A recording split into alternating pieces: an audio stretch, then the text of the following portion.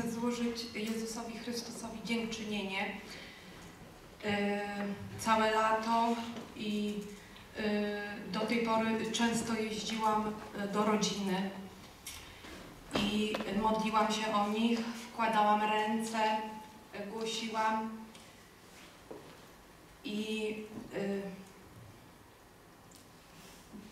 półtora tygodnia temu mój brat Zbyszek miał wypadek. Ciężarówka się przewróciła. Y, no jest na stronie internetowej, tam możecie poczytać. Y, Olsztyn, y, wypadek Volkswagena z ciężarówką. I przed tym wypadkiem czułam ponaglenie, to było w niedzielę, żeby ochraniać świętą krwią swoją rodzinę. I tak modliłam się po prostu gorliwiej o rodzinę, ochraniałam świętą krwią i brata Zbyszka imiennie. I we wtorek o 17 był ten y, wypadek. I tak, ciężarówka przewalona, y, samochód zniszczony doszczętnie, ale brat i ci, którzy byli w ciężarówce cali i zdrowi, nic im się nie stało. Mój brat był poruszony tym bardzo.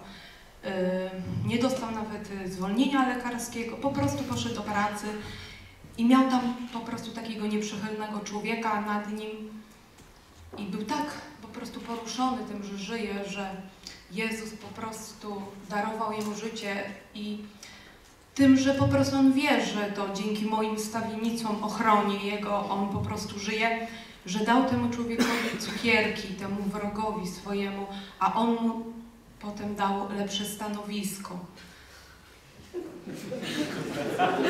I ja y, napisałam to pastorowi, że po prostu ja to przeżyłam, że mamy y, jedni za drugich dziękować, mamy po prostu za rodzinę dziękować.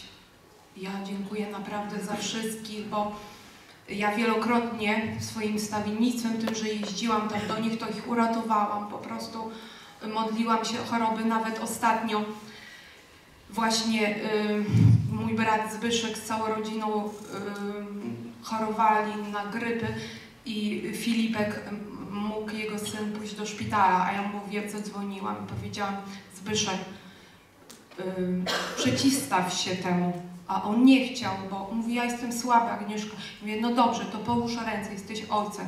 I ja przeciwstawię się, bo po prostu ja kocham Filipka, kocham Ciebie, mam moc Jezusa i ta choroba odejdzie. I po prostu Filipek już jest zdrowy. Ja przeciwstawiłam się diabłu yy, że yy, ta choroba od całej rodziny odeszła, bo wszyscy zachorowali na grypę raptownie, y, wszyscy i y, choroby już odeszły, już po prostu y, zdrowieją wszyscy w rodzinie. I tak jak powiedziała moja tu koleżanka, że my jesteśmy odpowiedzialni za y, swoją rodzinę, za tych, którzy po prostu jeszcze są niezbawieni, są po prostu um, słabi, żeby ich ratować. I to, że ja jestem w dobrym miejscu i w dobrym kościele, to moja modlitwa uratowała mojego brata. Moja modlitwa po prostu sprawiła, że y, ten Filipek półtora roku, on do mnie ciocia, on wiedział, czuje, że ja się po prostu modlę, ja jeżdżę tam i wkładam na niego ręce i tam niesamowite rzeczy się dzieją z tymi dziećmi. Po prostu te dzieci się bardzo dobrze rozwijają, bardzo dobrze się uczą, są też owocami po prostu takiej modlitwy mojej, bo y, aż mój brat mówi, że Agnieszka, on tu po prostu jakimś geniuszem będzie, jak on rozumie i, i zaczyna muzykować, tańczyć.